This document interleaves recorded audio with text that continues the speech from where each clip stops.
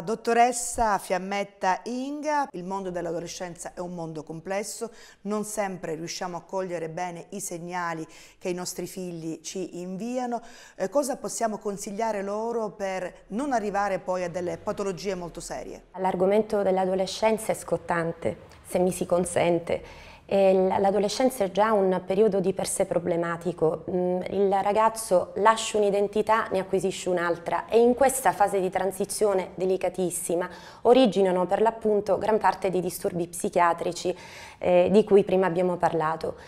Mm, al giorno d'oggi sicuramente c'è un grande allarme sui disturbi del comportamento alimentare che proprio si originano addirittura nella preadolescenza, come abbiamo studiato negli ultimi tempi, ma che si prolungono fino ad un'età adulta abbastanza avanzata.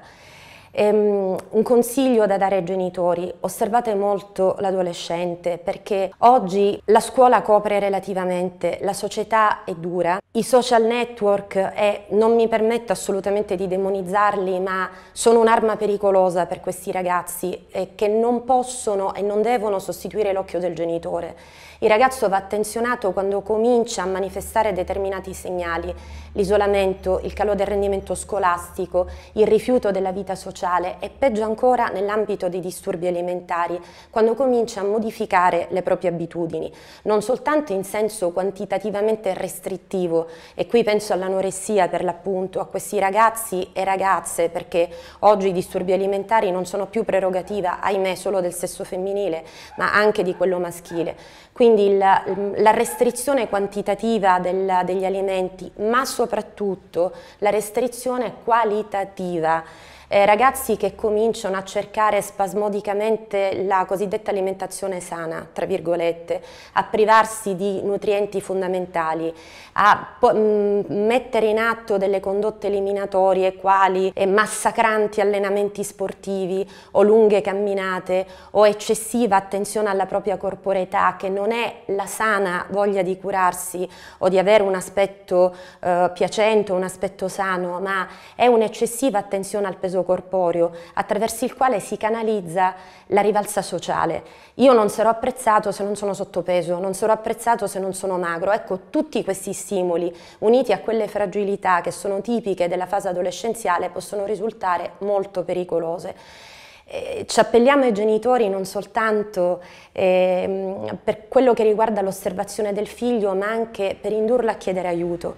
che è sicuramente l'aspetto più difficile del paziente adolescente, che già è chiuso, già eh, si crede adulto, già vorrebbe fare da sé e invece va guidato davvero alla scoperta di se stesso e alla scoperta delle proprie debolezze. Dottoressa, vorrei chiudere questa intervista con un aiuto a tutti coloro che ci seguono e credono che nessuno li possa aiutare. Noi possiamo.